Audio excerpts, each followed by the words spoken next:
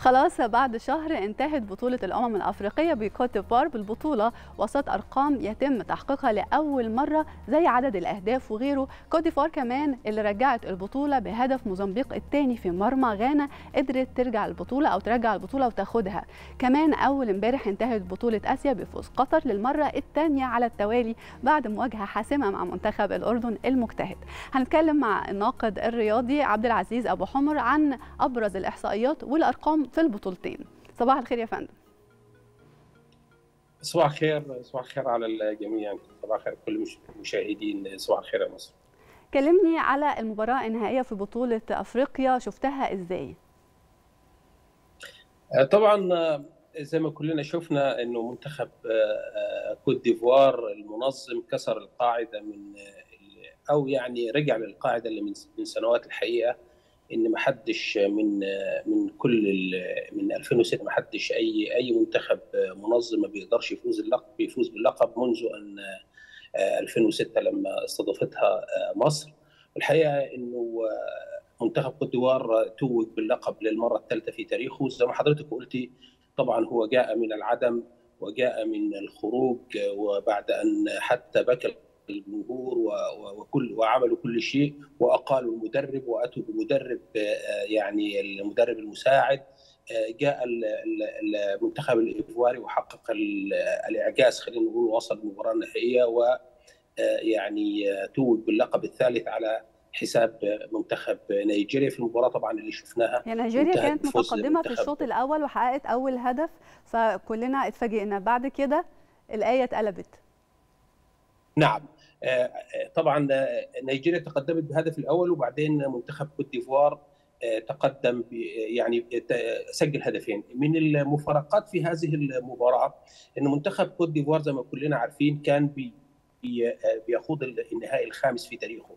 والحقيقة إن إن الأربع نهائيات الماضية لكوت ديفوار كلها انتهت بالتعادل السلبي. لم يستطع أن يسجل هدف ولم يستطع أي فريق أن يسجل فيه هدف. بما فيه لو نتذكر النهائي اللي مع منتخب مصر اللي انتهى أيضا بالتعادل السلبي ومصر توجد باللقب بركلات الترجيح. امبارح منتخب كوت ديفوار استقبل أول هدف في تاريخه في المباراة النهائية وسجل أول هدف أيضا أو أول هدفين في تاريخه أيضا في المباراة النهائية. كانت من المفارقات العجيبة في في في النهائي بتاع نسخة 2024 من الأفكون. الحقيقة النقطة الثانية أيضا إنه منتخب كوت ديفوار هو أول منتخب من 2006 إنه يكون المنظم ويفوز. وطول طول تاريخ البطولة يعني ما حدش كان المنظم يعني sorry من 2006 من آخر مرة فازت بها مصر. ما كانش في حد قدر بعد كده أي منظم حتى مصر نفسها 2019 لما نظمت البطولة لم لم لم تحصد اللقب. منتخب كوت ديفوار جاء من العدم وللتتويج لولا لولا يعني الهدف بتاع غانا. نعم. لولا هدف غانا كان زمان كوت ديفوار في موقف صعب صحيح جدا. زي ما حضرتك قلت في المقدمة. آه طبعا. لولا هدف غانا. وأيضا الملاحظة اللي عايزين نقولها إن ال ال طب هل في منتخبات يعني حصل لها نفس الموقف ده في بطولات قبل كده؟ الحقيقة الحقيقة المنتخب كوت ديفوار إنه يطلع ويشيلوا المدرب ده. كانت أول واقعة تحصل. ويشيلوا المدرب جابوا المدرب إيميرس فاييه المدرب فاييه على فكرة. له صورة شهيرة جدا في في أمام منتخب مصر لما خسر لما خسر كوت ديفوار كلاعب. والآن إفريقيا تتحدث جميعها عن المدرب فاييه وهو يعود بقوة ويتوج بلقب أمم أفريقيا كمدرب. زي ما حضرتك قلتي إن البطولة دي شهدت أكبر عدد من الأهداف وهو 119 هدف. إحنا عارفين طبعا إنه أمم أفريقيا من أول نسخة مصر 2019 أصبحت ب 42 منتخب والحقيقة إنه نسخة مصر اللي كانت 2019 شهدت 100 102 هدف، النسخة الماضية شهدت 100 هدف اللي كانت في الكاميرون 2022 ثم جاءت هذه النسخة يعني لتكون لتثبت انها نسخة هجومية بكل المقاييس وذهبت إلى 119 هدف.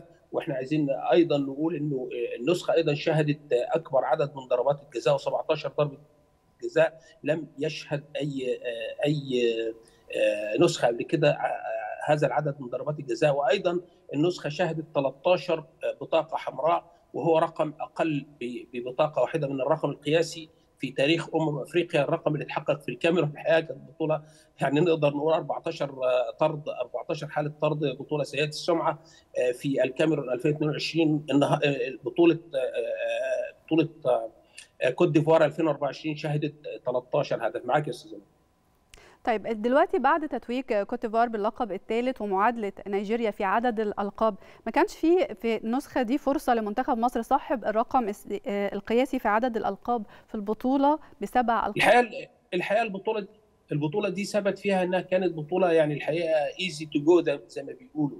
إحنا شفنا منتخب كانت مليانة مفاجآت كتيرة البطولة السنة آه طبعا. الحقيقة كانت أول المفاجآت طبعا منتخب خروج منتخب الجزائر دي كانت أكبر مفاجأة والحقيقة بسبب كده المنتخب الجزائر تراجع للمركز السابع في تصنيف الفيفا ودي برضه معلومة جديدة لي يعني إن شاء الله التصنيف بتاع الفيفا هيصدر يوم الخميس. إحنا بنقول إنه منتخب الجزائر كان أول المفاجآت. شفنا بعد كده يعني منتخب السنغال أيضا وهو حامل لقب خرج. الحقيقة أنا أنا كنت شايف إنه يعني منتخب مصر ما كانش محظوظ بالقدر الكافي. وطبعا بإصابة صلاح اللي حصل عليها لغط كبير وللأسف الشديد من بعض منا فينا إنه إنه يشكك في وطنية اللاعبين لكن على أي حال إحنا أمام إن شاء الله يعني مرحلة جديدة في منتخب مصر. وشفنا طبعا مدرب المدير الفني الجديد لمنتخب مصر حسام حسن وتكريم الكافلي في في المباراة طيب خليني بمناسبة ذكر منتخب مصر وكابتن حسام حسن خليني أسألك على شايف إزاي تكريم حسام حسن مدرب منتخب مصر كأحد أساطير الكرة الأفريقية مش المصرية بس من قبل الاتحاد الأفريقي؟ آه طبعا ده, ده حاجة كانت كويسة جدا وبداية مهمة للعميد في قيادة منتخب مصر. طبعا حسام حسن تاريخه غني على التعريف وهو لا يزال الهداف التاريخي لمنتخب لمنتخب مصر. وإن شاء الله تكون الفترة اللي جاية لمنتخب مصر تكون كويسة. منتخب مصر رغم إنه تراجع ثلاث مراكز عالمية في تصنيف الفيفا اللي أيضا اللي هيصدر زي ما قلنا يوم الخميس المقبل إلا إنه تقدم للمركز الخامس على مستوى أفريقيا. وخلينا أقرأ لك يعني التصنيف لأنه إحنا برضو منفردين تقريبا في شاشة صباح الخير يا مصر بالتصنيف منتخب المغرب التصنيف الإفريقي ترتيب المنتخبات الإفريقية. منتخب المغرب في المركز الأول الإفريقية الأول افريقيا ال 12 عالميا. منتخب السنغال الثاني افريقيا. نيجيريا وبعدين آسف أنا قلت كنت قلت إن مصر خامس مصر رابع وبعدين كوت ديفوار وتونس والجزائر في المركز السابع ومالي في المركز الثامن والكاميرون في المركز التاسع وجنوب أفريقيا في المركز العاشر ده التصنيف اللي إن شاء الله حي حي هيطلع يوم الخميس منتخب مصر زي ما قلنا تراجع ثلاث مراكز عالمية صحيح لكنه تقدم على السلم الإفريقي نظرا لتراجع منتخبات زي تونس والجزائر وكوت ديفوار في المرتبة الإفريقية. طيب قبل تولي حسام حسن تدريب منتخب مصر تراجع التصنيف لينا ثلاث مراكز وكوت ديفوار عايزة أعرف أبرز الأرقام في تصنيف الفيفا. زي ما قلنا إنه إنه الحقيقة يعني منتخب مصر هو حتى في في المباراة اللي هي اللي, اللي إحنا طلعنا بيها من من كأس أمم أفريقيا المنتخب ما خسرش. منتخب وده كانت فرصة كويسة جدا برضه لو كان منتخب مصر استمر في الحقيقة زي ما شفنا مثلا كوت ديفوار. كوت ديفوار طلع للمركز 39 عالميا كان في المركز ال 50 تقدم 11 مركز. الحقيقة بعد ما طبعا وصل للنهائي وتوج بلقب أمم أفريقيا للمرة الثالثة في تاريخه. منتخب مصر كان في المركز ال 36 عالميا في آخر تصنيف اللي صدر من الفيفا في تاريخ 30 11 2023 والآن منتخب مصر في اللحظة اللي إحنا بنتكلم فيها دي في المركز كان منتخب مصر كان في المركز 33 منتخب مصر دلوقتي في المركز ال 36 عالميا وفي المركز الرابع افريقيا زي ما قلنا بعد بعد المغرب وبعد السنغال وبعد نيجيريا. طبعا نيجيريا اللي تقدموا أيضا لأنهم وصلوا للنهائي بل إنهم تقدموا أكثر من كوت ديفوار. عارفين كوت ديفوار زي ما إحنا قلنا انهم تعثروا كثيرا في في في المسابقة وفي في النسخة المنتهية. ومنتخب مصر طبعا في المركز الرابع عالميا. سوري سوري الرابع افريقيا ال 36 عالميا طيب قبل ما الوقت يداهمنا خلينا ننتقل لكأس أمم آسيا وكأس أمم أفريقيا اللي أقيمت في نفس التوقيت تقريبا منتخب قطر المنظم توج باللقب الآسيوي ومنتخب كوت ديفوار المنظم الأفريقي توج باللقب. إزاي شايف الفرق بين الكرتين ولو رقميا حتى؟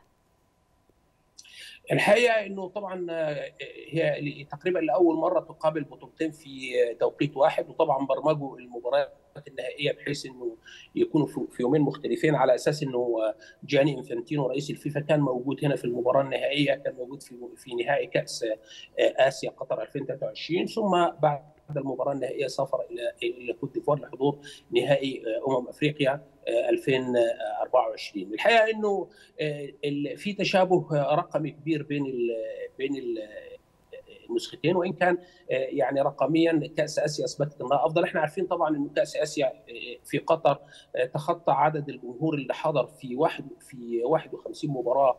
هي عدد مباريات البطولة تخطى المليون ونص المليون ونص متفرج. الحقيقة إن في في كوت ديفوار البطولة حققت نجاح جماهيري أيضا لكن لم يصل الرقم إلى هذا إلى إلى مليون إلى مليون ونص تخطى المليون والحقيقة خلينا نقول برضه إنه تخطى الرقم بتاع أمم أفريقيا مصر 2019 في عدد الجماهير. أما بالنسبة للأرقام فإحنا نشوف إنه طبعا بطولة كأس آسيا زي ما حضرتك عارفة منها ما فيهاش مركز ثالث فبالتالي بتكون 51 مباراة. أما أما بطولة أفريقيا في فيها مركز ثالث والثالث بيكون 51 مباراة. لكن لو جينا على صعيد ال ال ال ال الأهداف المسجلة إحنا قلنا إنه كأس أمم أفريقيا تسجل فيها في 52 مباراة تسجل 119 هدف. أما كأس آسيا في 51 مباراة فقط تسجل 132 هدف والحقيقة البطولة كانت عامرة بالأرقام القياسية لأول مرة إن يكون خمس مباريات لأول مرة في تاريخ بطولة كأس كأس آسيا خمس مباريات تروح يعني وقت إضافي. لأول مرة يكون فيها ثمان أهداف ذاتية. يعني كان صراع بقى لأخطاء يعني خلينا نقول المدافعين. وكان فيها لأول مرة 25 ضربة جزاء. لأول مرة خمس ضربات جزاء يعني مهدرة. ولأول مرة أيضا 20 ضربة جزاء مهدرة. الحقيقة أيضا بطولة كانت يعني مش كويسة خالص في في الطرد. شهدت 11 حالة طرد بينما الرقم اللي هو القياس للطرد في نسخة واحدة كان في نسخة الصين 2004 وشهدت 17 حالة طرد. الحقيقة البطولة بطولة كأس آسيا حققت نجاح كبير أيضا على مستوى التنظيم وإحنا شفنا في أفريقيا إن في كوت ديفوار أيضا البطولة كانت أفضل بكثير من ناحيه التنظيم والأمور اللوجستية من من نسخة 2022 في الكاميرون ودايما إحنا يعني مش متحيزين لكن الحقيقة إحنا بنقول الحقيقة انه نسخة 2019 من كأس الأمم الأفريقية اللي هي كانت أول نسخة بنظام 24 فريق تقام وقيمت في في مصر. وضعت الحقيقة المنظم المصري وضع يعني معايير متميزة جدا ووصل بالبطولة إلى مواصيل كبيرة. تراجع شوية في الكاميرون الحقيقة 2022 لكن نبارك ل يعني الأشقاء الأفارقة في جنوب أفريقيا. هذا التنظيم وإن شاء الله رب العالمين مصر داعمة لكل ما هو أفريقي وبإذن الله يعني تكون هذه الانطلاقة الجديدة ل الكرة الإفريقية والأهم تكون انطلاقة جديدة مع الجهاز الفني الجديد لمنتخب مصر.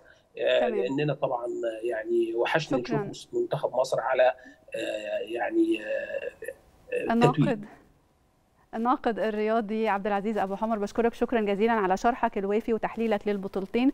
مشاهدينا خلصت كده نشرتنا الرياضية وتفاصيلها وتحليلاتها. نطلع فاصل وبنرجع لكم مرة ثانية